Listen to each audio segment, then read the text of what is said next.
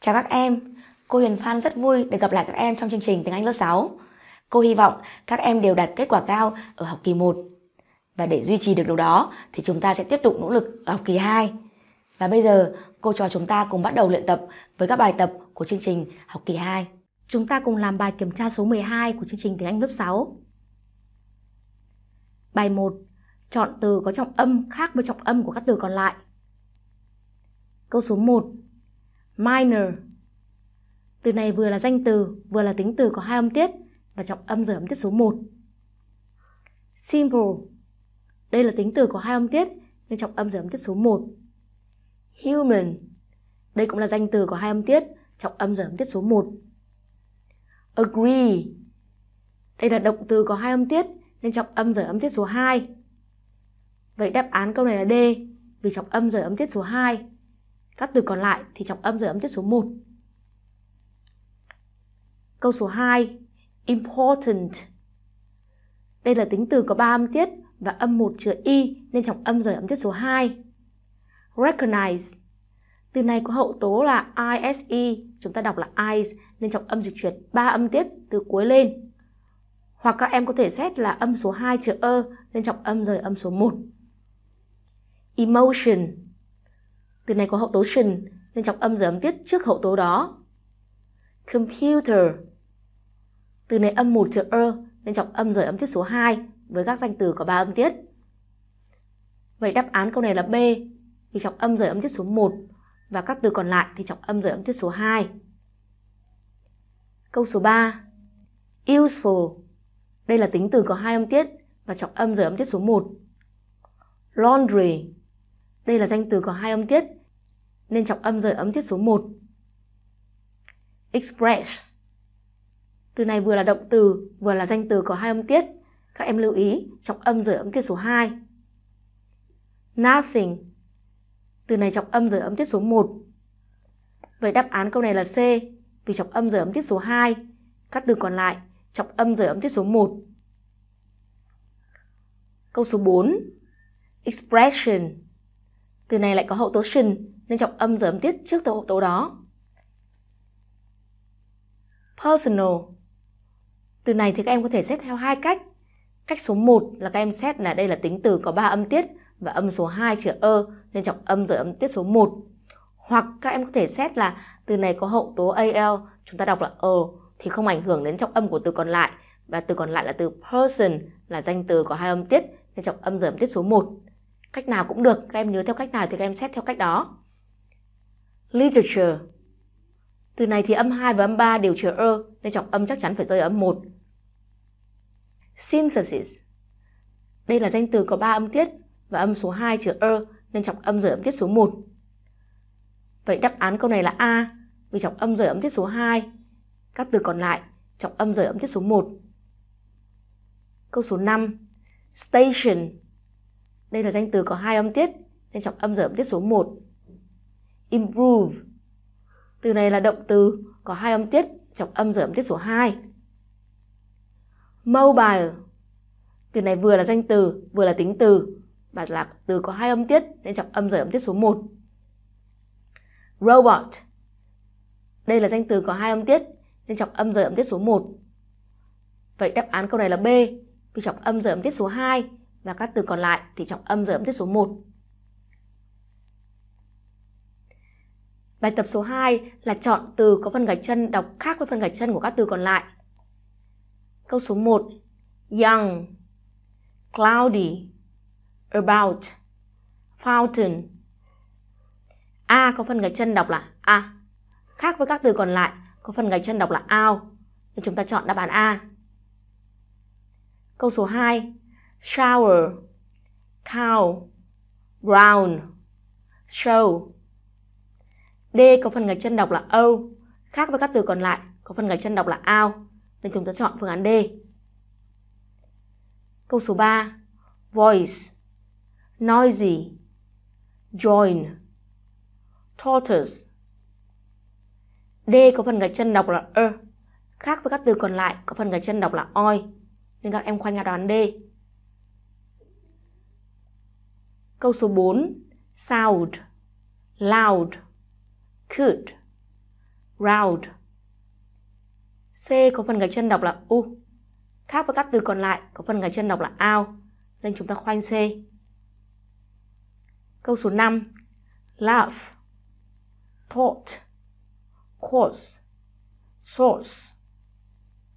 A có phần gạch chân đọc là r Khác với các từ còn lại có phần gạch chân đọc là o nên chúng ta chọn đáp án A. Bài tập số 3. Chọn đáp án đúng để hoàn thành câu. Câu số 1. Robots will be dot dot dot to help people in many fields such as curing some diseases or teaching languages. They are very useful for people in the future.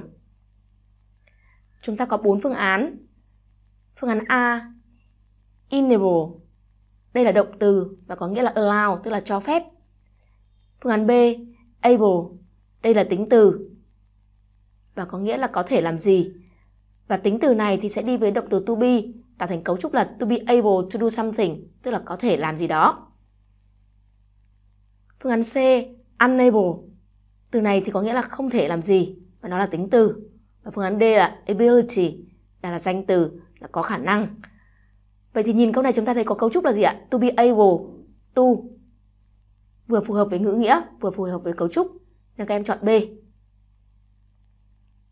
Thế còn C thì là tính từ nhưng mà lại không phù hợp với ngữ nghĩa nên chúng ta không chọn. A và D thì là động từ và danh từ thì cũng không phù hợp với cấu trúc ở đây. Câu số 2. It's difficult for him dot dot dot these flying robots because they are very small. Ở đây các em chú ý cho câu cấu trúc đó là it's difficult for somebody to do something, tức là rất khó cho ai để làm gì. Nên chúng ta chọn đáp án A, to recognize. Câu số 3. You should have a good habit of dot dot dot the bed after you wake up every morning. Ở câu này chúng ta lưu ý cho cô cấu trúc đó là make the bed, tức là trải lại giường hoặc là dọn giường. Vì vậy chúng ta sẽ chọn đáp án B. Câu số 4. We are interested dot dot dot watching modern home robots in the exhibition. Ở câu này thì chúng ta chú ý cấu trúc đó là to be interested in và đằng sau đi với một động từ hoặc đi với một danh từ có nghĩa là thích hoặc là quan tâm đến điều gì. Nên chúng ta khoanh đáp án A. Câu số 5. They can see a lot of dot dot dot of robots such as teaching robots, doctor robots or space robots when they come to the robot center. Chúng ta có các phương án buildings là các tòa nhà, roles là vai trò, things là các vật và types là các loại. Vậy thì ở đây để phù hợp với ngữ nghĩa thì chúng ta sẽ chọn đáp án D và type of robots tức là các loại robot. Câu này có nghĩa là họ có thể xem rất là nhiều loại robot, chẳng hạn như là robot dạy học, robot bác sĩ hoặc là robot vũ trụ khi mà họ đến cái trung tâm robot. Câu số 6. She dot dot dot speak English fluently two years ago, but now she dot dot dot communicate with foreigners confidently thanks to her English teacher. Ở câu trước thì chúng ta có two years ago nên chúng ta sẽ phải chọn quá khứ. Và câu sau thì chúng ta lại có từ now nên chúng ta sẽ chọn hiện tại. Vậy là các em loại A và loại D. Thế còn B và C Chúng ta dịch nghĩa ở câu sau đó là gì ạ? Bây giờ thì cô ấy giao tiếp với người nước ngoài một cách tự tin nhờ cô giáo tiếng Anh của cô ấy. Vậy thì chúng ta sẽ phải chọn là có thể nói. Bây giờ có thể, như vậy thì trước đó thì chắc chắn là không thể bởi vì có từ but ở giữa hai câu. Nên là phương án C sẽ là phù hợp. Câu số 7. He thinks robot teachers dot dot dot replace the roles of teachers completely in the future. They, dot dot dot, support teachers to teach their students in modern classes. Các em quan sát chỗ trống cần điền ở câu số 2 thì các em thấy vị trí từ just sẽ đứng sau will và trước động từ to be. Vậy thì chúng ta sẽ chọn đáp án D. Anh ta nghĩ là robot giáo viên thì không thể thay thế được vai trò của giáo viên hoàn toàn trong tương lai bởi vì chúng chỉ có thể là hỗ trợ giáo viên để dạy học sinh ở trong những cái lớp học hiện đại. Câu số 8. Some people are afraid that robots will a lot of dot dot dot will be able to be used for bad purposes. Chúng ta có các phương án A. Energy, có nghĩa là năng lượng. B. Power là sức mạnh hoặc là quyền hạn. C là activities là hoạt động và D work là công việc. Vậy thì các em dịch câu này đó là gì ạ? Một số người thì sợ là những con robot có nhiều cái gì đó thì sẽ có thể dùng cho mục đích xấu. Vậy thì chúng ta sẽ chọn đáp án B, tức là những con robot mà có nhiều sức mạnh hoặc là có nhiều quyền lực thì có thể được sử dụng cho những cái mục đích xấu. Câu số 9. I don't dot dot dot why he's trying to do everything on his own. He should learn how to listen to people's advice. Chúng ta có các phương án là think, nghĩa là nghĩ, find là tìm thấy, understand, có nghĩa là hiểu và recognize là nhận ra. Vậy thì ở đây chúng ta sẽ chọn đáp án C để phù hợp với ngữ nghĩa. Tức là tôi không hiểu tại sao mà anh ta cố gắng làm mọi thứ một mình. Anh ta nên học cách lắng nghe lời khuyên của mọi người.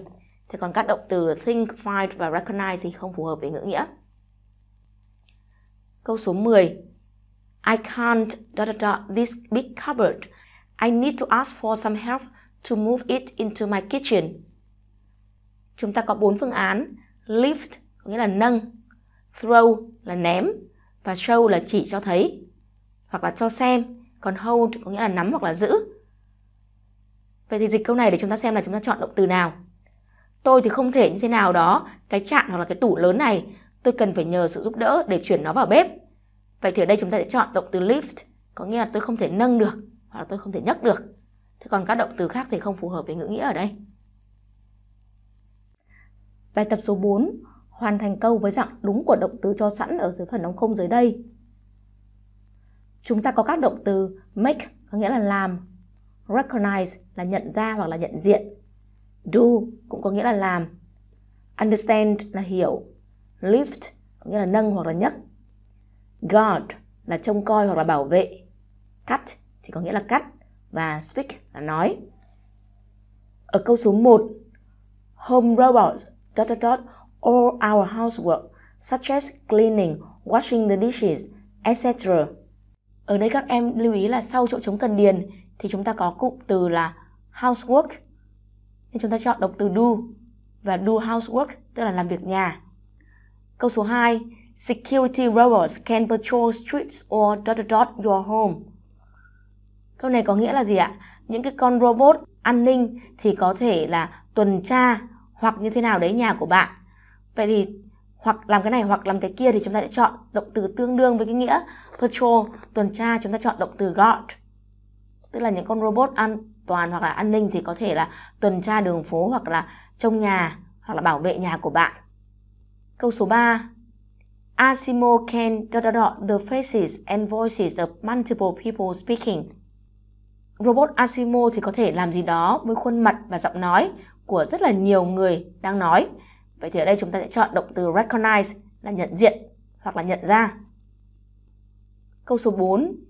Now robot dot dot dot Japanese, English and Chinese and can answer your questions about banking. Ở đây sau chỗ trống cần điền chúng ta có từ Japanese, English and Chinese là các ngôn ngữ nên chúng ta sẽ chọn động từ speak. Và lưu ý thì chủ ngữ là danh từ ở số ít, nên động từ này sẽ phải thêm s Vậy các em sẽ chia là speaks. Câu số 5. Worker robots are good at dot dot dot, heavy things. Ở đây chúng ta có heavy things là các cái vật nặng. Vậy thì chúng ta chọn động từ lift. Tuy nhiên thì các em lại chú ý cấu trúc đó là good at thì đi với động từ dạng verb in. Nên các em sẽ chia là lifting. Câu số 6. The boss robot could dot dot dot either a latte, a cappuccino or a coffee. Con robot Boss thì có thể cái gì đó hoặc là latte hoặc là cappuccino hoặc là cà phê. Vậy chúng ta sẽ chọn động từ make. Đó là biết pha cà phê hoặc là biết làm latte hoặc là cappuccino. Câu số 7. Will future robots be able to dot, dot, dot, human emotions? Ở đây chúng ta có cụm từ human emotions có nghĩa là cảm xúc của con người nên chúng ta sẽ chọn động từ là understand. Và vì nó đúng sau to be able to nên động từ này để nguyên, không chia. Câu số 8. Bill Shane now dot dot dot his grass with a robotic lawnmower. Chúng ta có cái từ lawnmower là máy cắt cỏ. Vậy thì chúng ta sẽ chọn động từ cắt. Chúng ta lại lưu ý chủ ngữ Bill Shane thì động từ sẽ phải chia ở thời hiện tại thường và chúng ta thêm s. Vậy các em sẽ chia là cuts. Bài tập số 5 là chọn câu mà có cùng nghĩa với câu đã cho. Câu số 1. Teaching robots are not as interesting as real teachers. Câu này có nghĩa là robot dạy học thì không hấp dẫn hay là không hay như là giáo viên thật. Phương án A, thì giáo viên thật thì không hay hay là không hấp dẫn như là robot dạy học. Vậy câu này thì ngược nghĩa với câu đã cho, nên chúng ta loại. Phương án B là giáo viên thật thì thú vị hơn hay là hấp dẫn hơn là robot. Vậy thì câu này sẽ phù hợp nghĩa và đúng cấu trúc. Phương án C, Giáo viên thực thì chán hơn là robot dạy học. Câu này sai hoàn toàn về ngữ nghĩa. Vậy chúng ta chọn đáp án B. Câu số 2. The role of robots in the future might be unsure. Vai trò của robot trong tương lai thì có thể chưa chắc chắn. Phương án A là gì ạ? Họ có thể chưa chắc chắn về vai trò của robot. Câu này phù hợp với ngữ nghĩa và cấu trúc câu cũng đúng. Phương án B, they might be sure of the role of robots. Ở trên thì chúng ta có là unsure, nhưng ở dưới lại sure. Như vậy là ngược nghĩa với câu đã cho, nên là B cũng không đúng. Phương án C, they might be unsure of the robots. Ở đây là không chắc chắn về robot chứ không phải là không chắc chắn về vai trò của robot, nên là cũng không đúng về ngữ nghĩa. Vậy là phương án A là phù hợp nhất. Câu số 3. In the past, home robots could lift heavy items and do housework. Trong quá khứ thì robot gia đình thì có thể nhấc hoặc là nâng những vật nặng và làm những việc nhà. Phương án A là gì ạ? Home robots couldn't lift heavy items and did homework. Vậy thì câu này các em thấy là sai hoàn toàn về ngữ nghĩa đúng không ạ? Ở trên là có thể nâng nhấc, ở dưới lại không thể nâng nhấc. Vậy là loại. Phương án B. Home robots lift heavy items and did housework. Ở đây các em lại lưu ý cho cô động từ lift. Ở trên lại đang nói về quá khứ, nhưng mà ở dưới thì động từ lift lại để ở hiện tại. Tức là robot gia đình thì có thể nâng vật nặng, nhưng mà lại là hiện tại chứ không phải quá khứ. Vậy là phương án B là sai về thời, nên chúng ta loại. Phương án C, home robots lifted heavy items and did housework in the past. Câu này đúng về cấu trúc là trong quá khứ và cũng đúng về ngữ nghĩa. Tức là những con robot gia đình thì có thể nâng những vật nặng và làm việc nhà trong quá khứ. Vậy chúng ta chọn C. Câu số 4. How many robots will you have in the future? Câu này muốn hỏi là bạn muốn có bao nhiêu con robot trong tương lai? Phương án A. I want to know the number of robots you will have in the future. Là tôi muốn biết cái số lượng robot mà bạn sẽ có trong tương lai. Câu này thì đúng vào cấu trúc và cũng đúng về ngữ nghĩa.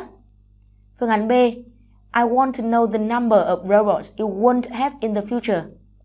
Ở trên thì đang là câu khẳng định, nhưng mà B thì lại là câu phủ định. Vậy là sai về ngữ nghĩa so với câu cho sẵn, nên là chúng ta loại. Phương án C. I want to know the number of robots you should have in the future.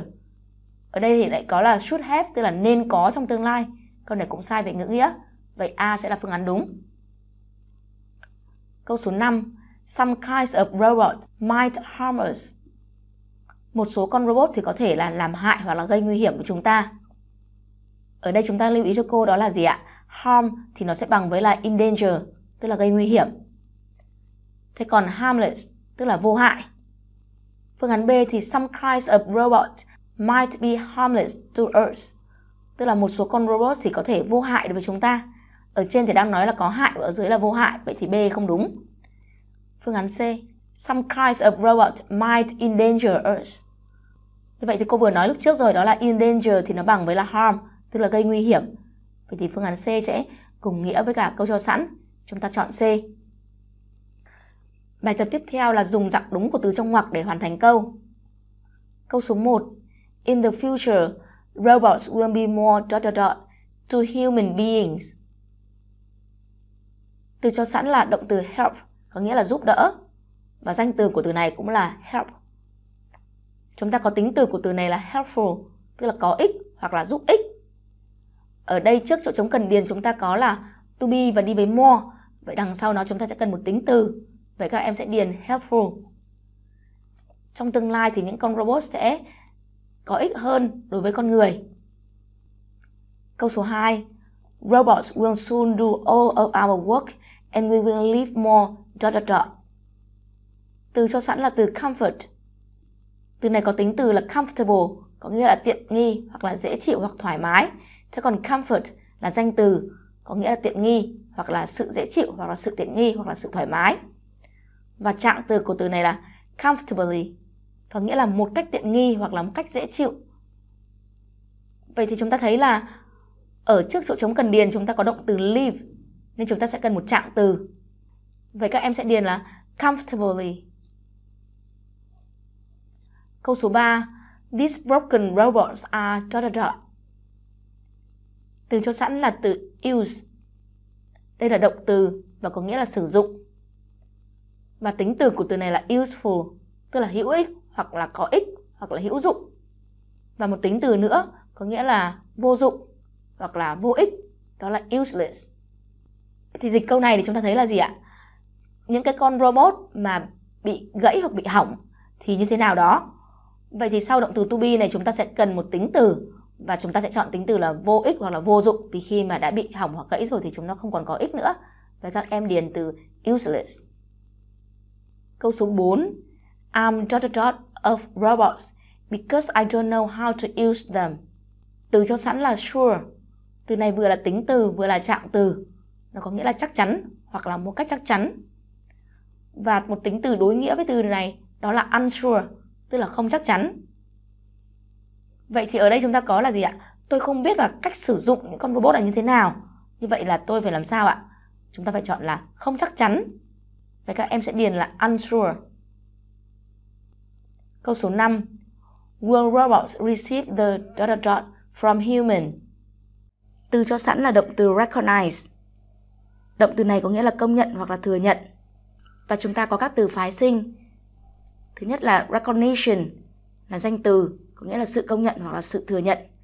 Và recognizable có nghĩa là có thể công nhận hoặc là có thể thừa nhận. Vậy thì ở đây các em thấy là trước từ cần điền có từ the và sau đó là from nên chúng ta sẽ chọn danh từ với các em điền recognition.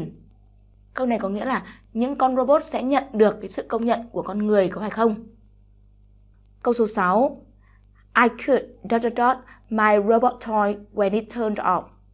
Từ cho sẵn là từ start. Từ này có nghĩa là bắt đầu hoặc là khởi động. Và đây là động từ.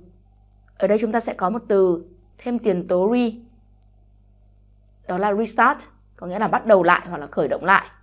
Các em dịch câu này Tôi có thể như thế nào đó con robot trò chơi khi mà nó tắt rồi. Vậy thì khi đã tắt rồi thì chúng ta sẽ khởi động lại. Nên các em sẽ chọn điền restart. Câu số 7. Will robots be able to do all of dot dot dot work? Từ cho sẵn là từ base. Đây là danh từ, có nghĩa là cơ sở hoặc nền tảng hoặc là căn cứ.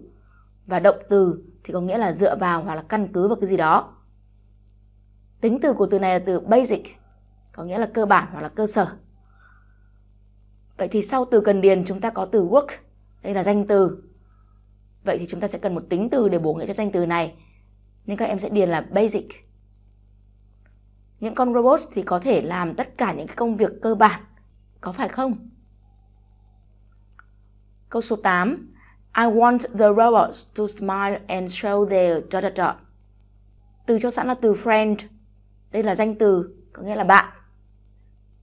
Và tính từ của từ này là friendly, có nghĩa là thân thiện. Và chúng ta có danh từ sự thân thiện, đó là friendliness. Ở đây trước từ cần điền chúng ta có từ there. Vậy sau đó chúng ta sẽ cần một danh từ. Chúng ta có hai danh từ friend hoặc là friendliness.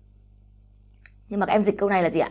Tôi muốn con robot mỉm cười và thể hiện cái gì đó của chúng. Vậy thì không thể là thể hiện bạn được mà phải là thể hiện sự thân thiện. Nên các em sẽ điền từ friendliness. Bài tập số 7 là đọc đoạn văn và chọn đáp án cho phù hợp. Các em có thể dừng hình để đọc toàn bộ bài, sau đó chúng ta sẽ cùng làm câu trả lời. Câu hỏi số 1. Why do people use a computer to control a robot? Tại sao con người lại dùng máy tính để điều khiển robot? Chúng ta tìm một phần cô đánh dấu trong bài A robot cannot think or do things alone. People use a computer to control it. Robot thì không thể nghĩ hay làm những cái thứ gì một mình mà mọi người dùng máy tính để điều khiển nó. Vậy thì ở đây chúng ta sẽ chọn đáp án B. Because it cannot think or do things alone. Câu số 2. Which of the following statements is not true according to the text?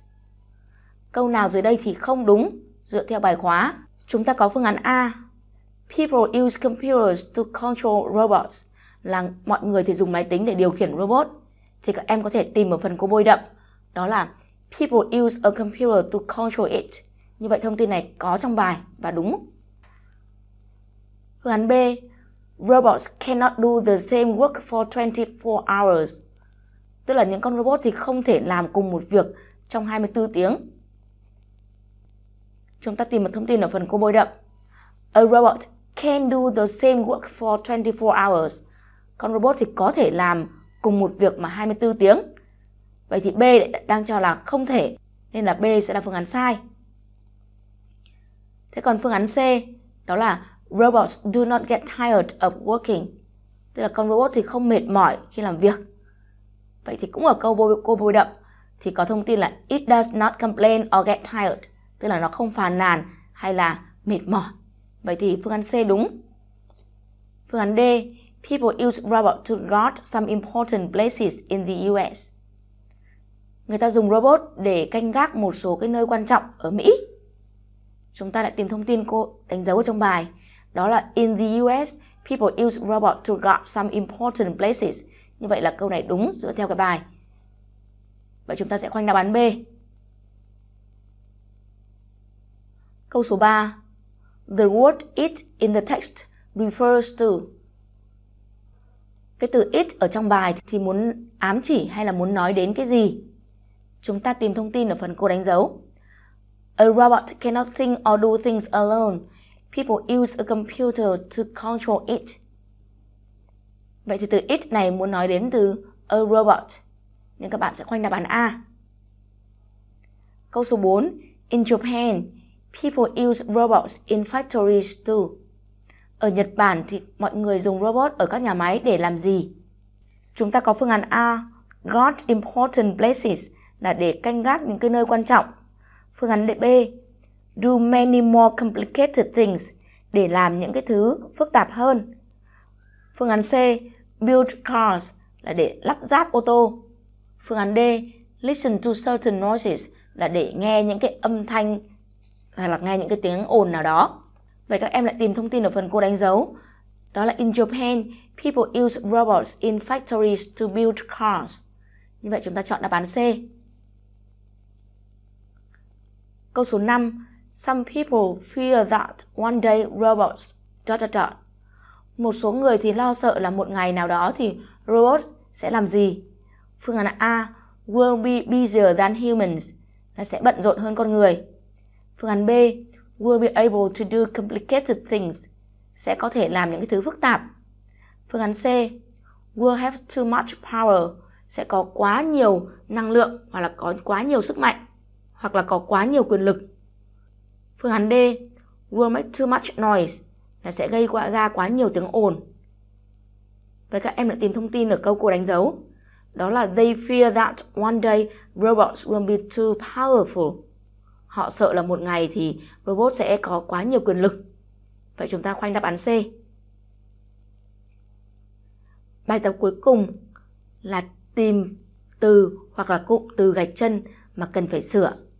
Trong bài thi thì thường người ta không yêu cầu các em sửa, nhưng mà thường trong bài chữa thì bao giờ cô cũng sẽ chữa là sửa thế nào để các em nắm vững bài hơn và các em hiểu rõ bản chất của cái câu đó. Câu số 1.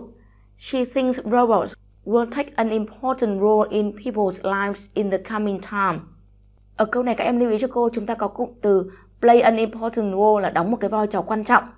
Như vậy chúng ta thấy là B là không đúng từ vựng. Nên các em thay cho cô động từ take thay bằng động từ play. Cô ấy nghĩ là robot sẽ đóng một cái vai trò quan trọng trong cuộc sống của con người trong thời gian tới.